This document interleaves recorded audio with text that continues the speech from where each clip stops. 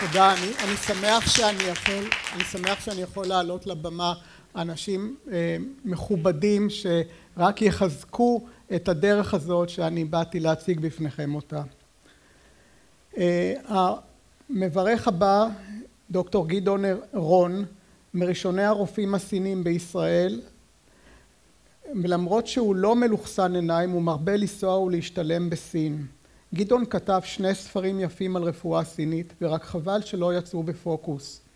גדעון מתגורר באמירים, מעצמת הצמחונים והטבעונים.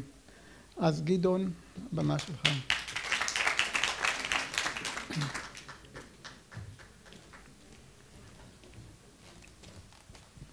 שלום. אתם מכירים את התופעה הזו ששושבין בחתונות אמריקאיות ובריטיות מברך את הזוג וזה שאומר עליהם דברים רעים. חיפשתי דברים רעים להגיד על שאול, לא מצאתי. ואני מכיר אותו מאז שהוא בן תשחורת. נפגשנו בלונדון לפני 43, 46 שנים, אה, שנינו חובבי צילום, הוא מקצוען, אני רק חובב, יצאנו יחד לטיול בצפון אנגליה ובסקוטלנד, שבועיים מקסימים. אגב, בשנות ה-60 של המאה הקודמת, לפני שמרקו פולו גילה את המזרח ולפני שקולומבוס גילה את אמריקה, ישראלים אה, אחרי צבא או אחרי לימודים לא נסעו למזרח הרחוק ולא לדרום אמריקה, אנגליה הייתה סוף העולם. ושמתי לב, שאול כצלם, הייתה לו ראייה מאוד מאוד מיוחדת, הוא הצליח לראות מעבר למה שהאדם רגיל רואה. ואני חושב שהתכונה הזו עזרה לו מאוד שנים אחר כך כשבריאותו כפי שהוא ציין לא הייתה במיטבה והוא הצליח לראות שיש גם רפואה אחרת. הוא ראה מעבר לתרופות ולטיפולים הקונבנציונליים ובאמת אז הוא הגיע לרפואה המשלימה.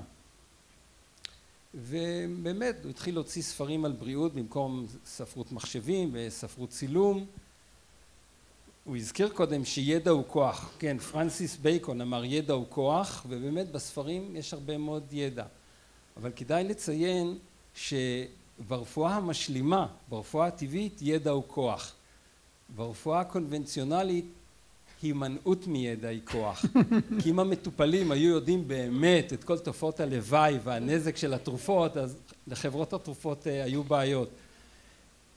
אז יש לנו ספרים עם ידע האמת היא שבדור שלנו עכשיו בשנים האחרונות יש אינטרנט באינטרנט עשיר בידע וכאילו הוא מייתר את הספרים אבל אה, באינטרנט המידע לא כל כך אמין ובדוק ואני יכול להגיד לכם מידע מידיעה אישית שלי שבפוקוס הספרים עוברים סינון וזה אמין ואפשר לסמוך.